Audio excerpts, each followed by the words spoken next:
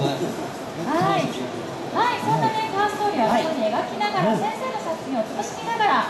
実写に漫画に小説に、そしてミニカーにロッカーといろいろ、なんていうかね、はい、はい、永遠の車好きの男の子ととことん遊ぶんですよね。やっぱりね、あのいくつになっても、しかもね、ちっちゃくてもね、もう僕もね、やっぱ親父にね、小さい頃古いね、クリスマスプレゼントで城とかね、買ってもらって楽しんだことを思い出したりもしました。ちょっとワクワク木澤先生来てもらって一緒にやってもらったら僕も思い出です